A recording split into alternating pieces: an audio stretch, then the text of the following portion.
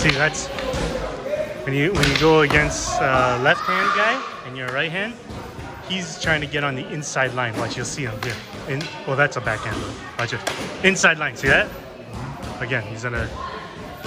So it's like that's what makes it hard for southpaw guy, or against the southpaw, because he could get the inside line. There, that's another inside line.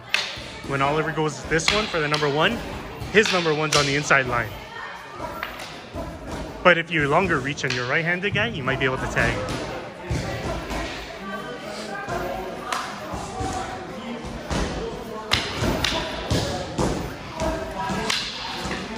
Less chasing Oliver and more cutting off now. Less chasing and more cutting off the angle now. Think of it that way. Yes. Good.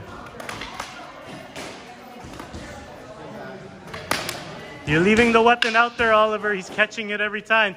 You got to change it, change the timing. Like, like that one, right? He sees that one. Nice, Gerald. Keep that inside line, Gerald. Try to keep on the inside of his stick. Nice, good footwork.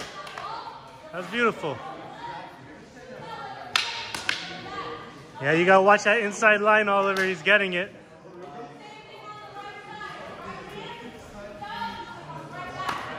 Hey, there you go.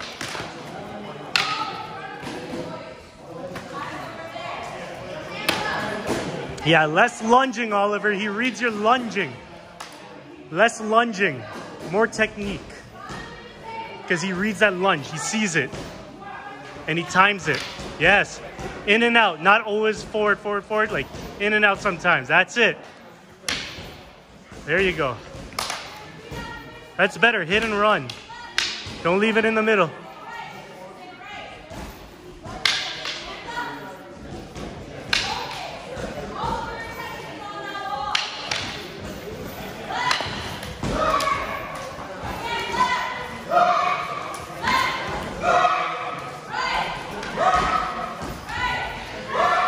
Time.